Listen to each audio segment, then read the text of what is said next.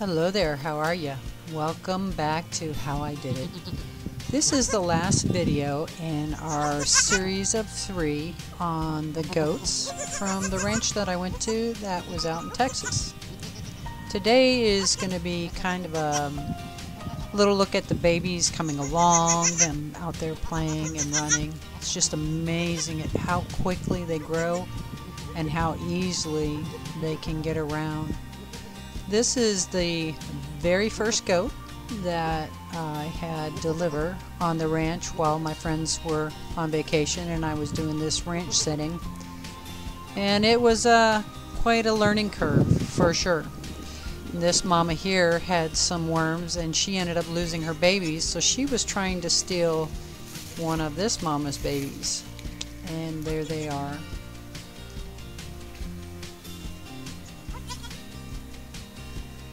They are so cute.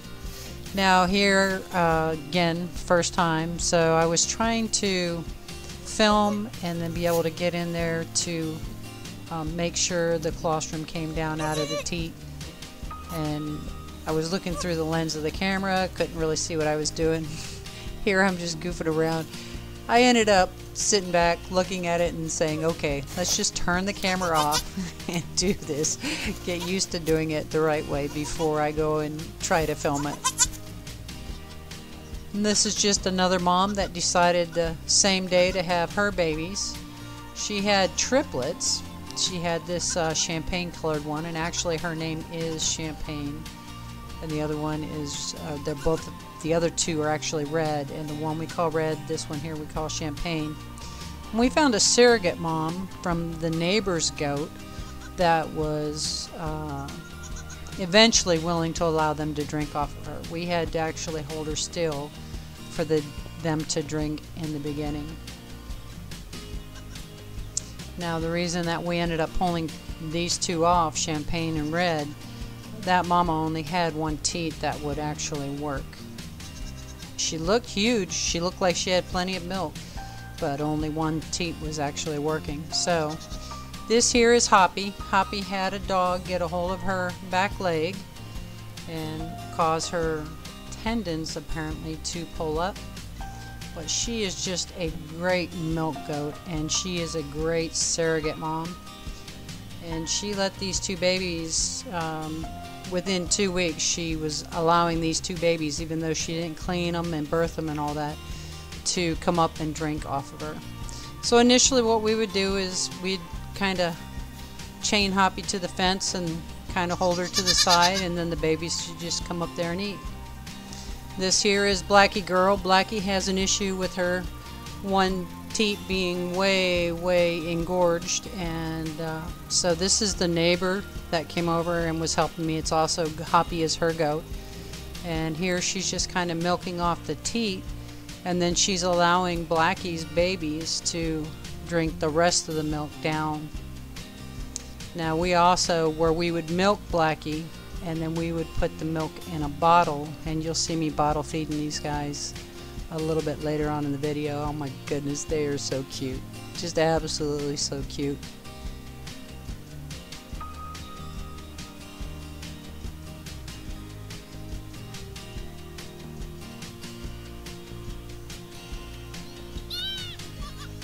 this mom decided at uh, I think it was about 4:30 quarter to 5 to have her babies. So of course Stella and I go out. Stella's little Miss Worrywart. Stella, Stella, it's okay. Relax. Mama's doing it. It's okay. It's okay. Relax. Yeah, this mom, she did great. She had both of them. Unfortunately, she had them in the dirt. I'm just out here with the flashlight. But she was able to get them all cleaned up and they were able to stand and go up and drink. Now the, the red goats seem to be a little bit more aggressive than the white ones. This, I'm just showing you this, what a great idea. These are those dog house, plastic dog houses. And the baby goats love going in there and a little bit of pine bark and stay all snug. And then this is the red goat at, at sunrise you, like I said, you have to be kind of careful when you're going up next to them. This mom here, she was out here kind of working her way into labor, so I moved her into a holding pen, went inside for a couple hours, and came back out, and she had triplets. All three of them were fairly small, and she was actually able to nurse all three of them, so I didn't have to bottle feed these guys. And these are those very first two goats that you saw when the video first started. And this is like three, four days later. There you go. All right, these are Blackie's two kids. The mama that were uh, milking her boobs because her her one teat and her boob is just hanging. Her bag is just hanging so low.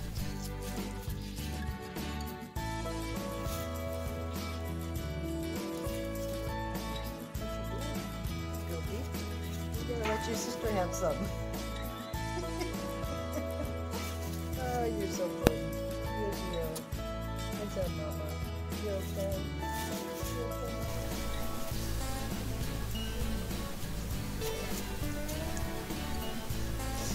Yep. That's that's my that's my that's my finger she is so funny. Oh my goodness, what a hoot!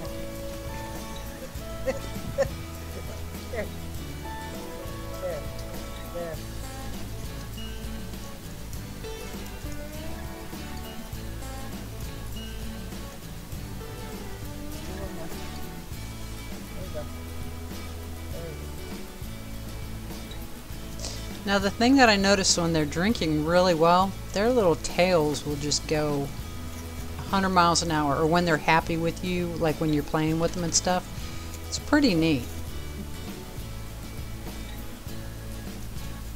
Yeah, I know. I kind of stalled on these guys when I was editing the video. You get that special bond when you bottle feed them. You know, they get attached to you and you end up getting attached to them.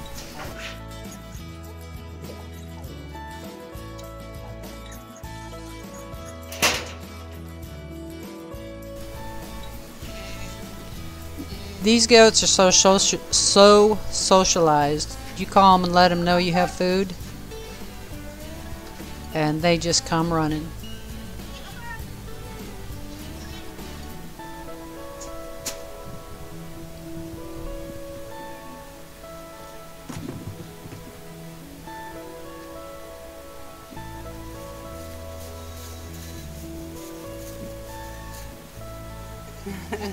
Hello. Hello. Where's your sister?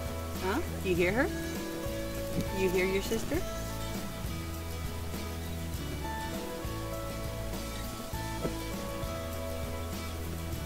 Actually, wasn't her sister, it was her brother.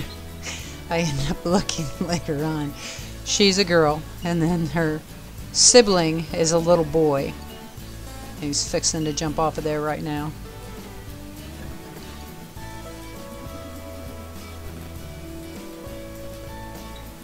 Pretty amazing with these little feed pans laying out there. They'll actually get in those and curl up and go to sleep as well. This is where the ghost got in the ring and ate the hay out.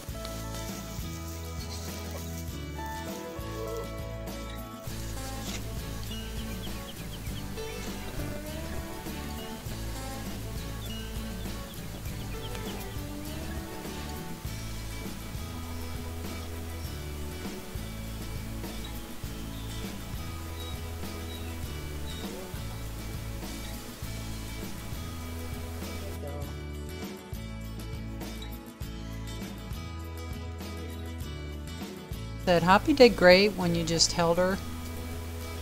She got used to these guys, and after the two weeks that I was sitting there, they were eating off her with no issue. This is Miss Oreo, and these are Oreo's two babies. Oreo is sisters with Blackie. These are the little triplets. And after about a 24 hour period, you can actually turn the mom and the babies out in the pasture. The mom will keep them close by. You give them that 24 hour period just to bond.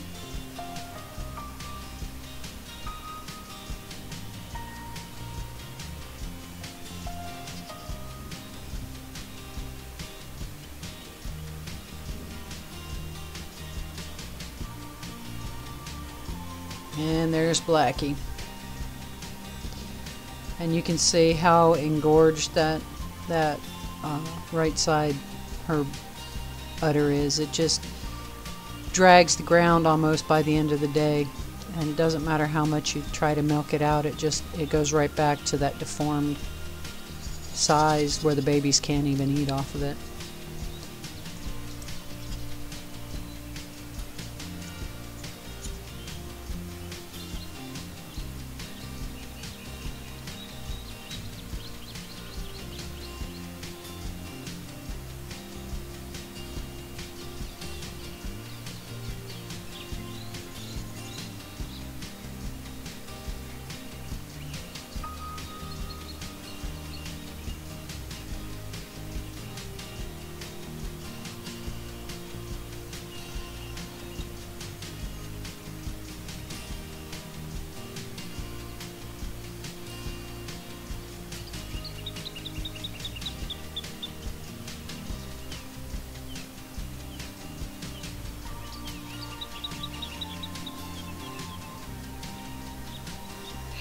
Are you kids doing? What are you kids doing? Hello. Hello. hey. What's up? What's up? What you doing? Huh? What you doing? You my kids? You my kids? Are you my kids? you good girls? Good girls, good boys.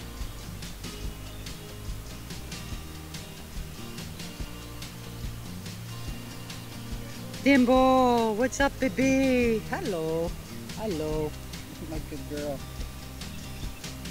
This was the last goat that I was able to see born prior to heading out of Texas.